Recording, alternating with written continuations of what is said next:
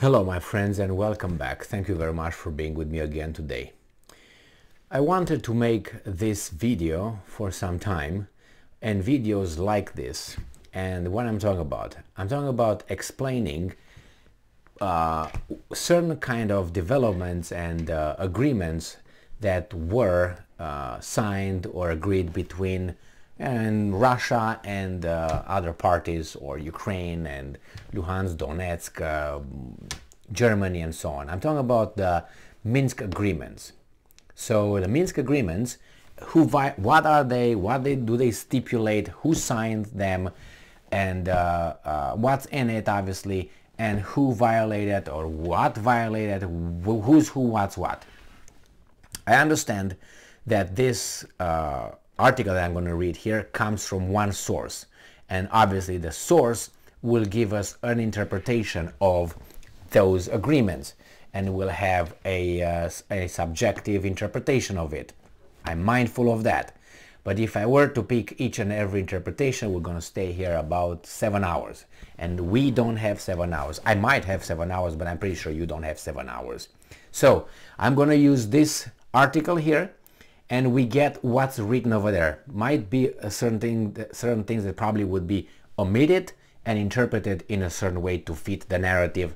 These guys, I want to push it, uh, want to push it. As for instance, the Ukrainians will uh, provide you different kind of explanation and so on. But the bulk of the information is accurate as I found it in other sources. So let's go and uh, start reading this article. It comes from Sputnik, Russian media. So let's be mindful about it.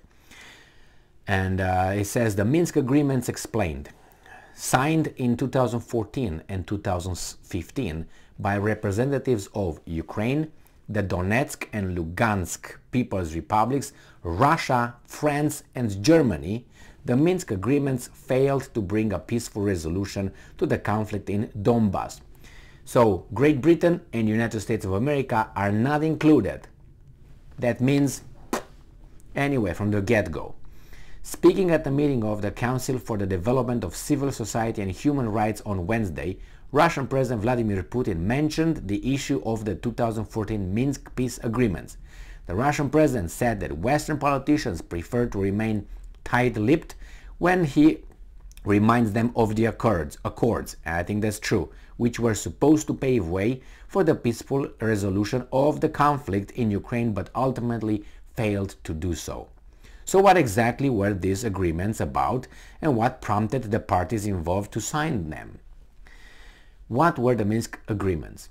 In February 2014, the democratically elected government of Ukraine was toppled by the so-called Euromaidan coup backed by Western powers. Okay, so that's not good. The coup sparked a bloody conflict, people died, in the country's eastern region where people who refused to bow down to the new Kiev leadership formed the Donetsk and Lugansk People's Republic, DPR and LPR respectively, and proclaimed their independence. That means that they did not recognize the traitors, that's how you call them, who overthrew a legitimate democratic elected government with the help of outside services which will make them will fall under the category and definition of traitors. That's how it is. So these guys in the East said, you know, we're not, we don't uh, recognize you guys. Probably instigated by Russia, right? Attempts by Kiev to quickly bring the newly formed republics to heel via the use of military power failed. They sent the mi Ukraine military over there against the citizens.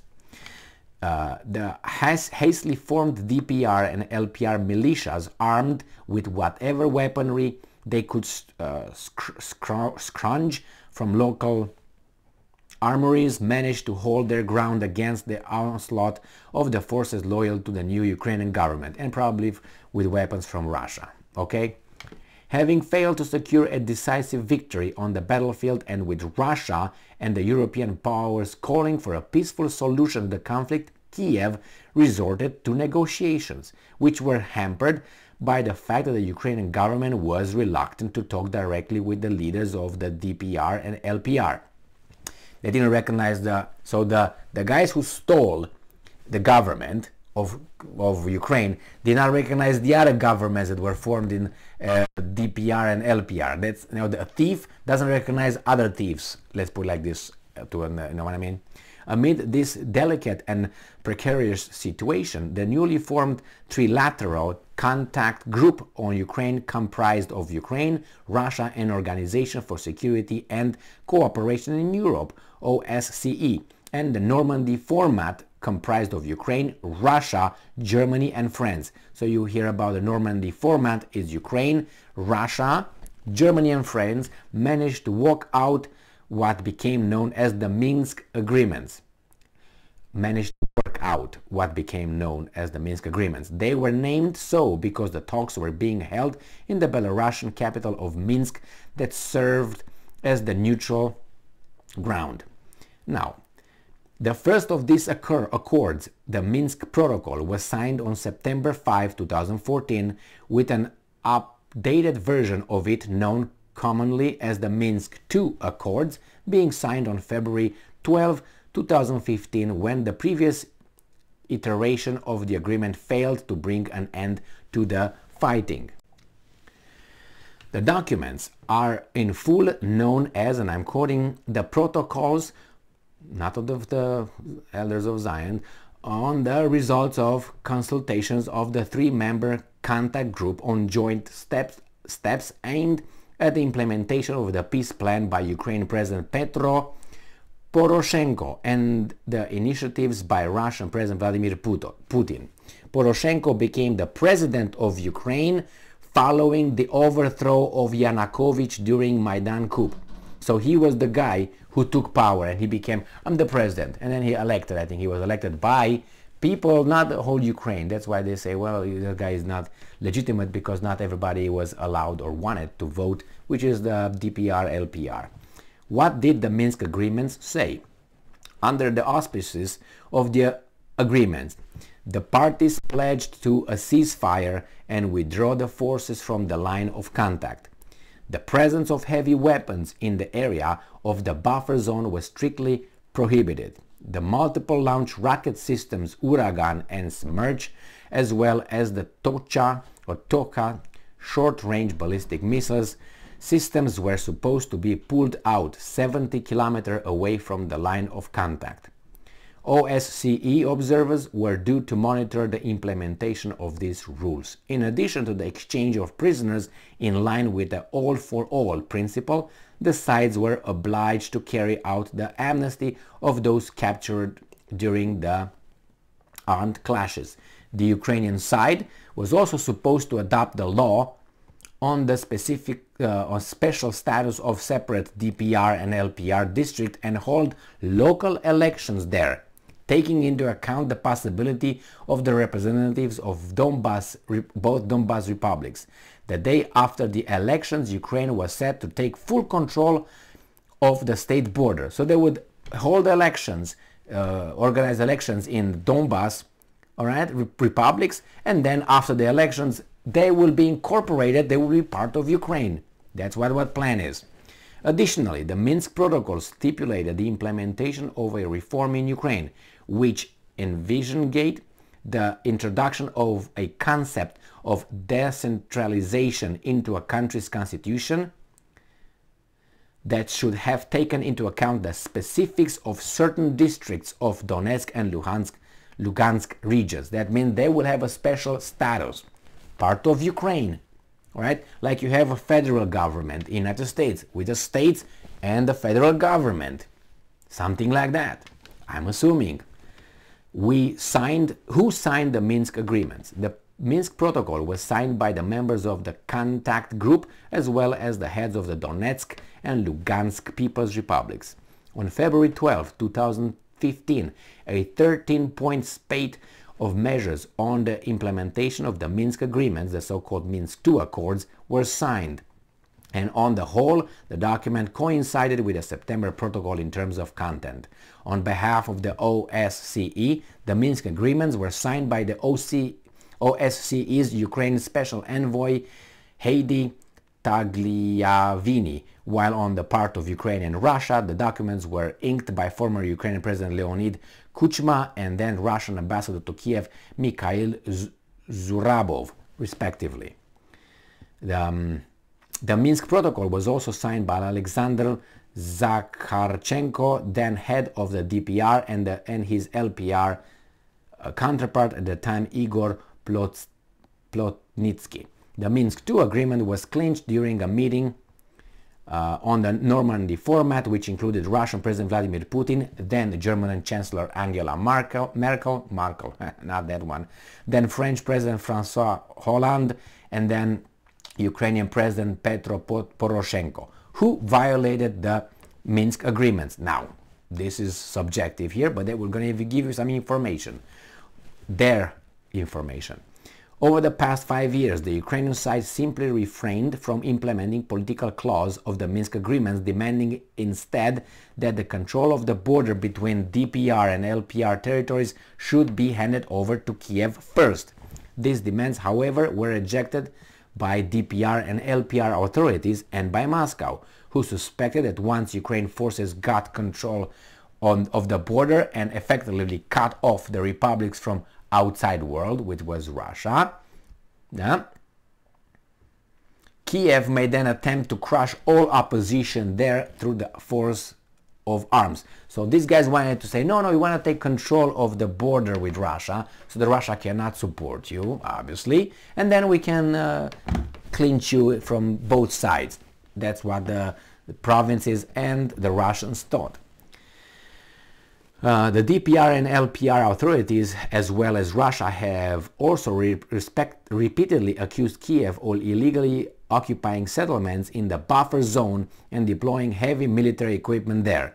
The situation was further exacerbated by the fact that the European, European powers repeatedly turned a blind eye to Kiev's blatant refusal to adhere to the Minsk agreements, while at the same time constantly berating and the DPR and LPR for the alleged violations of the very same accords. On Wednesday, Russian President Vladimir Foreign Minister Sergei Lavrov recalled that both Ukrainian President Volodymyr Zelensky and his predecessor Petro Poroshenko openly said that they were not going to implement the Minsk Accords.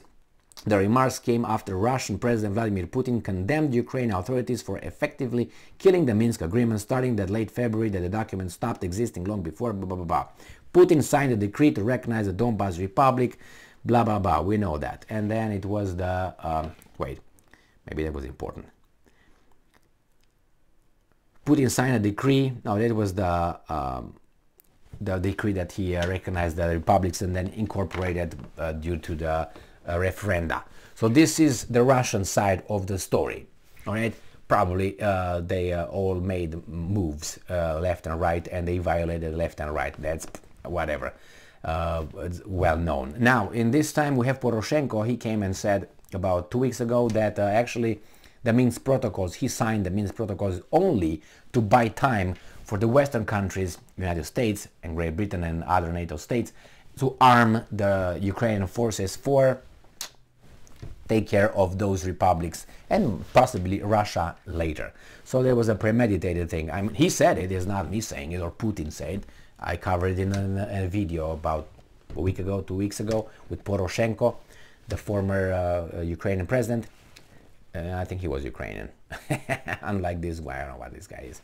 He's a kosher guy anyway. So this is what they say.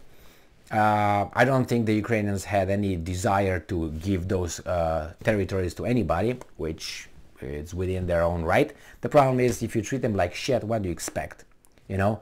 And then the other ones, again, Poroshenko and those guys who uh, uh were after the Maidan, um, whatever coup over there, the illegal overthrow, bloody overthrow of those the elected government democratically elected legitimate government of Yanukovych, they want they didn't recognize these guys for something that they did but these guys were uh, breaking away from the country. So you know but these guys took over with the help of outside forces. Whenever you have inside actors supported by outside um, agencies and there were agencies then that you become a um, and if it's a legitimate government there's no uh, tyrannical or anything like that, which I don't remember Yanukovych being, and I never heard them being tyrannical or non-democratic or something. They were corrupt like any other government, more or less, in that area and here too. Okay, Pff, um, here too, big time. So uh, uh, you are called a traitor if you do this with agencies from outside and you overthrow that. So then uh, uh, from the very beginning you are illegitimate. You just take power, like a thug. And you take a power and then say, I'm the president, I'm the boss. And those guys say, well, pff, oh, time out, we don't recognize you. You are not legitimate. Yeah, you're not? Okay, send the army. And somehow the army recognized these guys as being the legitimate uh, guys and followed and went to bomb those guys. And those guys defended themselves and the Russians helped their Russian brothers over there. Not going to be allowed to be slaughtered by the Ukrainians. Would you? No. So then I'm surprised that uh, the military, the uh, Ukrainian military followed the orders of these guys. But I think it was a little uh, insurrection, it's called. Uh, insurrections, uh, insurrection with weapons, killing and all that. And, and in the military and all that. So that's how uh, uh, as a general uh, information coming from one side, the Minsk agreements and whatever they claimed it happened, it happened. Obviously, this is just uh, if you don't didn't know anything about this, this is could be a you know stepping stone, and then you can get more information from other sources and you complete and find the truth. That's how you do. And obviously you realize that these guys um, find contradictions because you have to look chronologically and find who, what happened first and then what happened next. And that takes a lot of uh, research because you have to find out based on who did what uh, then you realize, oh, so this was a uh, reaction to this one. So these were the guys that initiated. And then one day, why did they initiate it? Have to go even lower, back, bum, bum, bum, bum, bum. Anyway, good luck with that one. Thank you very much for being with me again today. Stay strong, stay smart, look for the truth, and be just.